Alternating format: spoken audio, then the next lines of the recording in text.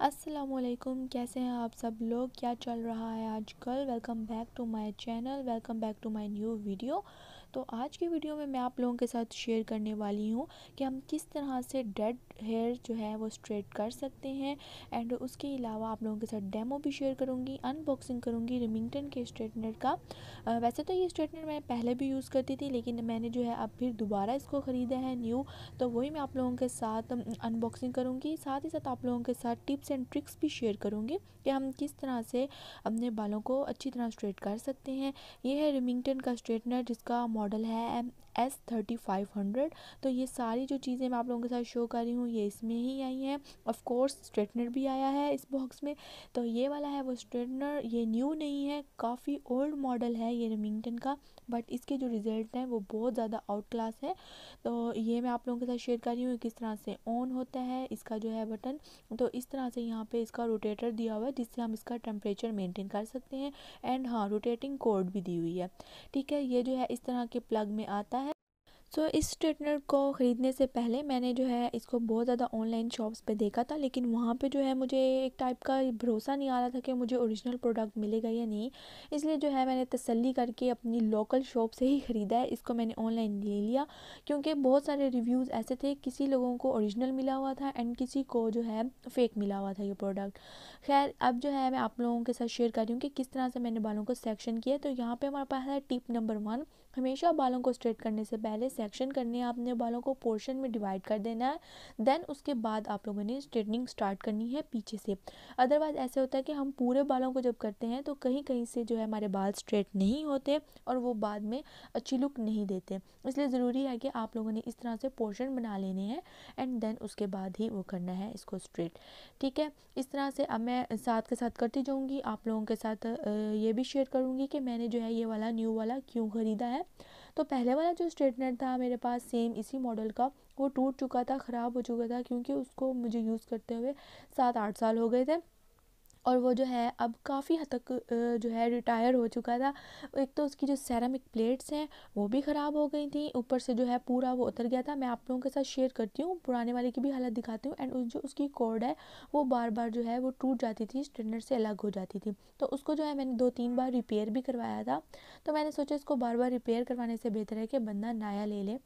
अच्छा अब मैं आप लोगों के साथ इसकी प्राइस शेयर कर देती हूँ। इसकी जो प्राइस है वो डिफरेंट है, हर जगह पे जो है डिफरेंट ही मिल रहा है। तो मैंने जो इसको लिया है वो फोर्टी थ्री हंड्रेड का लिया है।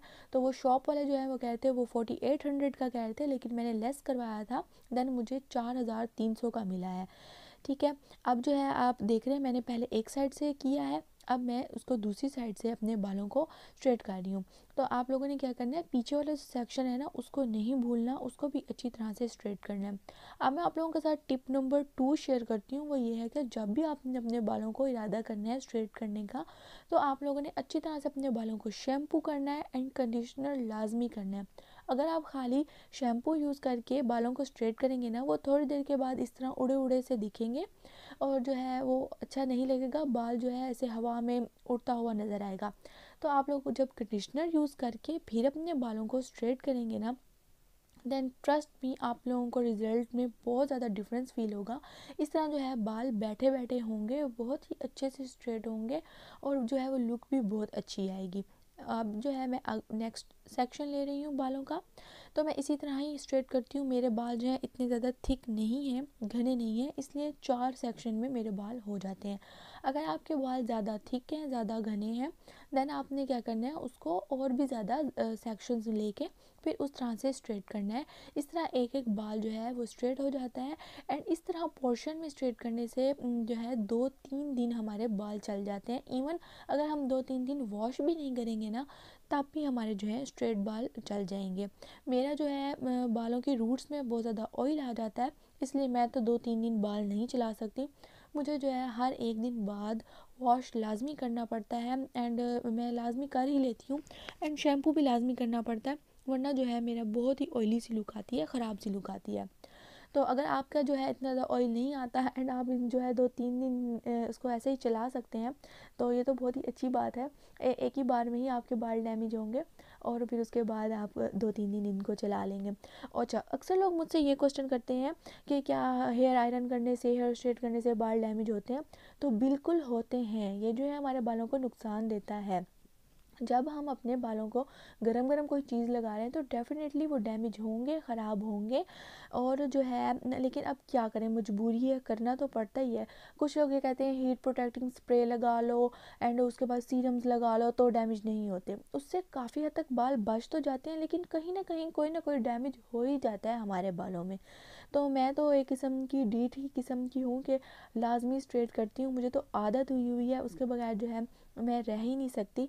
तो मैं आलमोस्ट डेली ही अपने बालों को स्ट्रेटन करती हूँ। एंड अब आप देख सकते हैं, उसका ये है कि मेरे बाल काफ़ी हद तक पतले होते जा रहे हैं। तो कोई बात नहीं, लेकिन जो है मुझे स्ट्रेटनर हेयर बहुत अच्छे लगते हैं।